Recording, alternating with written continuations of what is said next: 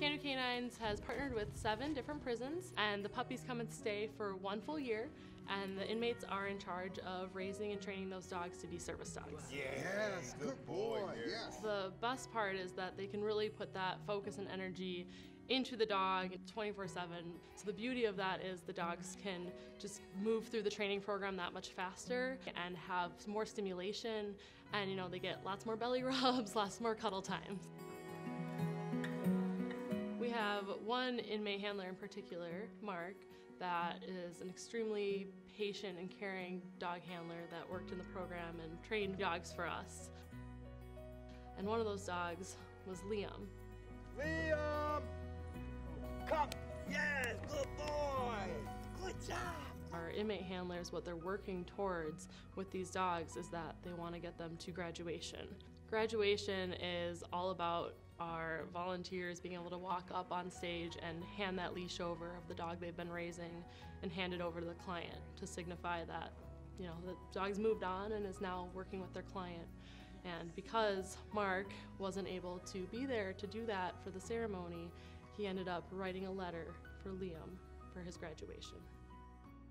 Liam, my dear friend. Wow, look at you, partner. The day we always talked about has finally come. You made it. I could not be more proud of you. As you embark on your new adventure of enriching the life of another, I want to thank you for enriching mine along the way, for teaching me to persevere for the sake of someone else when things got tough and I wanted to run, for helping me to consider the bigger picture and not just the one right in front of me, for teaching me that life is much better lived when it's made more about others and less about self, for giving me a clearer picture of loyalty, trust, and unconditional love,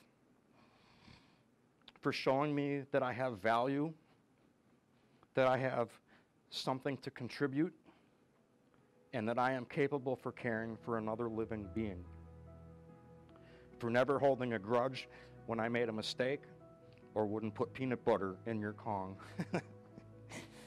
And last but definitely not least, for giving me a reason to believe in myself and my family a reason to be proud of me. It's absolutely incredible to be part of the prison programs. I get to see these inmates really truly grow and change, not just in their dog training skills, but in their people skills that they can use when they get out one day. And they get the unconditional love of a dog again. But you've got a job ahead now and a new and a new life to impact. This is what you've prepared for, and I have every confidence in you. Okay, get the brush. And give. I have no doubt you'll never work a day in your life, as I know you're going to really love your job. It's simply who you are.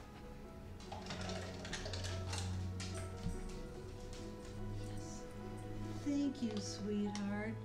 Go close it. It's been such a joy to be a part of your journey.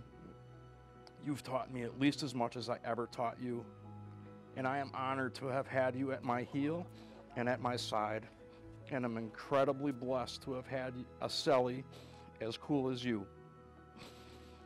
And even though I'm still finding your hair and all my stuff, you'll always have a place on the great mat in my heart.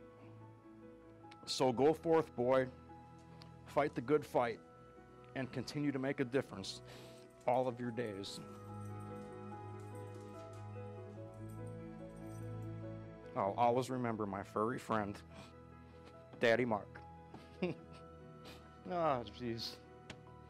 Yeah, so, yeah, he's a special boy.